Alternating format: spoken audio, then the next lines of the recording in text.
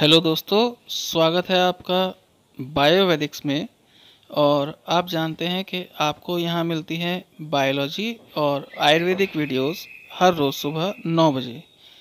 तो दोस्तों, इसी सीरीज़ में आज एक नया टॉपिक लेके आए हैं, जिसमें हम बात करेंगे कि डायबिटीज़ क्या है और इसके टाइप्स क्या हैं। और इस वीडियो से आप ये भी जानेंगे कि आपको कौन सी टाइप की डायबिटीज़ है, कौन से प्रकार की डायबिटीज़ है। तो दोस्तों, शुरू करते हैं आज का वीडियो।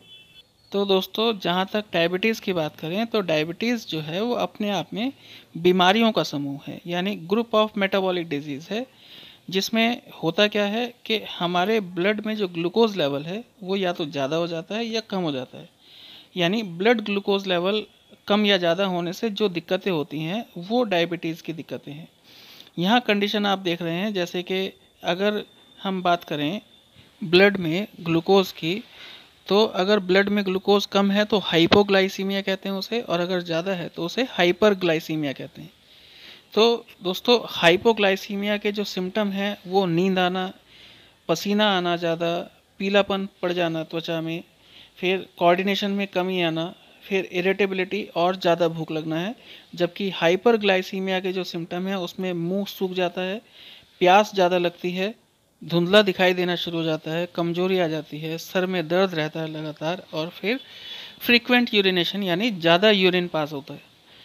फिर बात करें डायबिटीज़ के टाइप की तो डायबिटीज़ जो है बेसिकली दो टाइप की होती है दोस्तों, एक होती है डायबिटीज़ मेलिटस और दूसरी होती है डायबिटीज़ इंसिपिडस इसमें जो डायबिटीज़ मेलिटस है, वो तीन टाइप की है टाइप वन टाइप टू और गेस्टेशनल डायबिटीज़ जबकि इंसिपिडस चार टाइप की डिज़ीज़ होती है।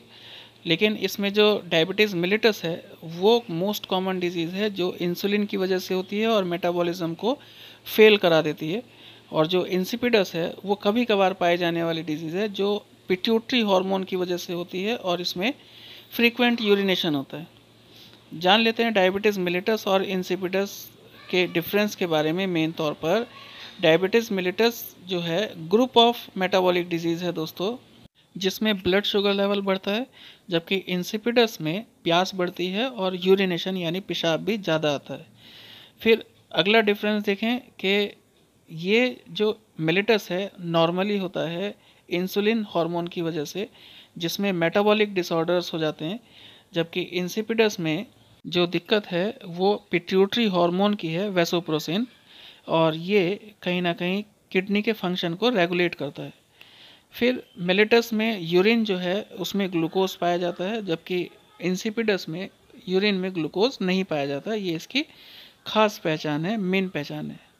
फिर आगे बात करते हैं डायबिटीज़ मिलिटस के दो मेन टाइप की टाइप वन और टाइप टू इसमें सबसे पहले बात करेंगे डायबिटीज़ टाइप वन डिज़ीज़ के बारे में, और इसमें मैं आपको बताऊँ कि इसमें सबसे पहले तो इंसुलिन प्रोडक्शन बंद हो जाता है, और फिर जो हमारी बॉडी है, वो ग्लूकोज को एब्जॉर्ब नहीं कर पाती, जिसकी वजह से ब्लड में ग्लूकोज इकट्ठा हो जाता है और इस कंडीशन को ही दोस्तों हाई ब्लड ग्लूकोज लेवल कहते हैं। इस केस में बॉडी को बाहर से इंसुलिन बाहर से इंजेक्शन के द्वारा देना पड़ता है, क्योंकि ब्लड में इंसुलिन है तो लेकिन हमारी बॉडी उसको एब्जॉर्ब नहीं कर पा रही। फिर बात करें डायबिटीज़ टाइप टू की तो इसमें हमारी बॉडी में इंसुलिन बनता तो है, लेकिन हमारी बॉडी उसको यूज़ नहीं कर पाती एब्जॉर्ब नहीं कर पाती और इससे भी ब्लड ग्लूकोज लेवल बढ़ जाता है। तो दोनों ही परिस्थितियों में, यानी टाइप वन और टाइप टू में हमारी बॉडी की जो सेल्स हैं, वो इंसुलिन को एब्जॉर्ब करने में सक्षम नहीं है। तो एक में तो इंसुलिन बन बन नहीं रहा है और दूसरे में बन रहा है तो बॉडी उसको एब्जॉर्ब नहीं कर पा रही। तो दोस्तों, इससे ये पता चलता है आपको कि इंसुलिन ही वो हार्मोन है जो ब्लड में ग्लूकोज लेवल को कंट्रोल करता है। फिर बात कर लेते हैं दोस्तों क्राइटेरिया की। टाइप वन डिज़ीज़ का क्राइटेरिया ये है कि ये यंग एज में भी हो सकता है नॉर्मल बीएमआई के होते हुए भी हो सकता है। ज़रूरी नहीं है कि आप मोटे हों। फैमिली में कोई हिस्ट्री हो इस डिज़ीज़ की, ऐसा भी ज़रूरी नहीं है। फिर शॉर्ट ड्यूरेशन के सिम्टम्स आते हैं इसमें, और इसमें लाइफ थ्रेटनिंग कंडीशन भी आ जाती है, जिसे डायबिटिक कॉमा कहते हैं, और इसके ट्रीटमेंट के लिए इंसुलिन ज़रूरी होता है। फिर टाइप टू डिज़ीज़ का क्राइटेरिया ये है कि ये जनरली मिडिल एज या बड़ी एज में ही होता है और इसमें जो पेशेंट होते हैं जनरली मोटे हो जाते हैं, मोटापे के शिकार लोगों को ही होती है टाइप टू डिज़ीज़ हिस्ट्री होती है सामान्य तौर पर और इसमें जो सिम्टम्स हैं, लंबे समय तक आते हैं। डायबिटिक कॉमा वाली कंडीशन नहीं आती जनरली लाइफ थ्रेटनिंग कंडीशन सामान्य तौर पर नहीं आती और इसमें इंसुलिन भी ज़रूरी नहीं है ट्रीटमेंट के लिए। फिर टाइप टू डिज़ीज़ ऐसी महिलाओं में भी हो जाती है जिनमें गेस्टेशनल डायबिटीज़ की शिकायत रही हो, यानी प्रीवियस डायबिटीज़ इन प्रेगनेंसी की हिस्ट्री रही हो। तो दोस्तों, वीडियो देखने के लिए धन्यवाद। और अगर आपको हमारे द्वारा दी गई इन्फॉर्मेशन पसंद आई हो तो प्लीज़ इसे लाइक और शेयर ज़रूर कीजिएगा।